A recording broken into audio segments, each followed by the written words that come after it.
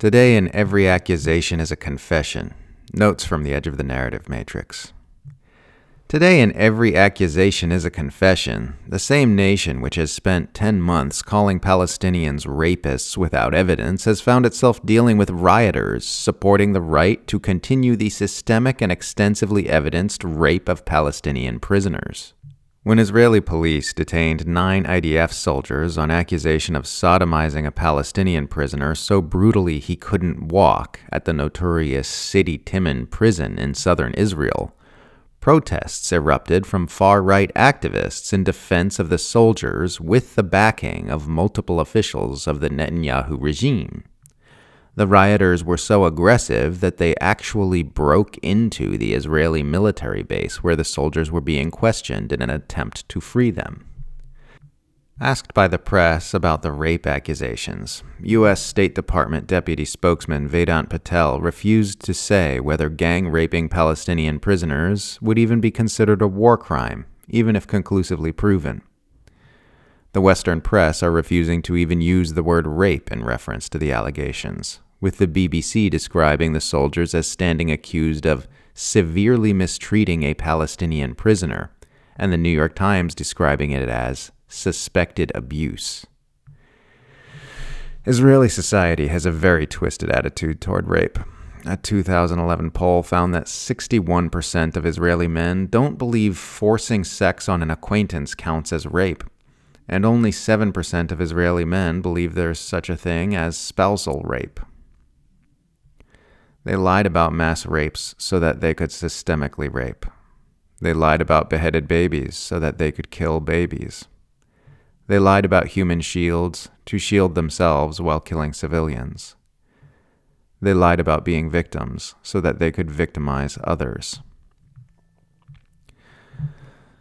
Meanwhile, the US is disputing the election results in Venezuela again because they didn't get the result they want, with more sanctions and other interventionism likely on the way for the empire targeted nation. It's just so wild how every few years the US just casually tries to install a coup regime in the oil rich nation of Venezuela, and the Western political media class treats this as perfectly normal.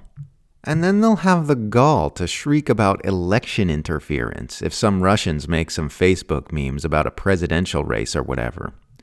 Really says a lot about how evil, entitled, supremacist, and stupid Western civilization is. People who support these regime change operations always tell me, You know nothing about Venezuela. You've never been there. Talk to Venezuelans. And I always tell them that no matter how many times I visit Venezuela or how many Venezuelans I talk to, it will still be a fact that U.S. regime change interventionism is literally always disastrous and literally always based on lies. One thing that sucks about understanding the US empire is knowing with absolute certainty that there are empire managers watching a black woman run for president right now and saying, oh man, we're going to be able to use her administration to manufacture consent for so many military agendas. We're already seeing some strong shut up, shut up, shut up about Gaza energy from Kamala supporters toward those on their left.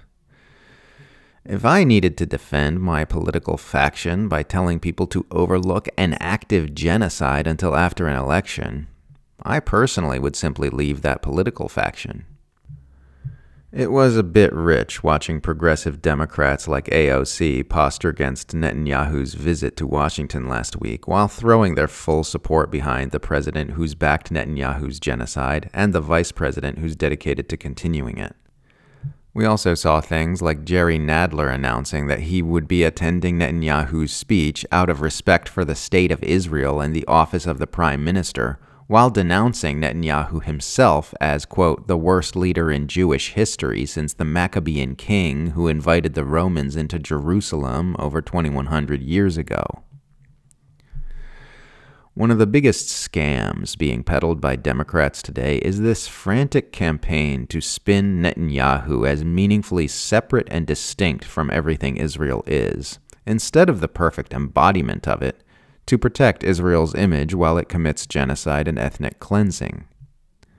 They are working overtime to hang this whole mess on Bibi, so that when it's all over and the final solution to the Palestinian question has been carried out, he can take the sins of the Zionist state and the entire U.S. centralized empire with him when he leaves office without anything ever needing to change about status quo U.S. foreign policy. They're repeating the George W. Bush playbook. Netanyahu didn't create the genocidal racism in Israel. The genocidal racism in Israel created Netanyahu.